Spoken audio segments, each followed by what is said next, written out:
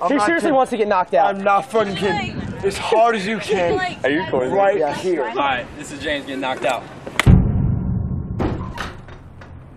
My life is falling apart around me. I'm losing everything. I wake up every day and I feel like shit. It just doesn't seem worth it anymore. Why me?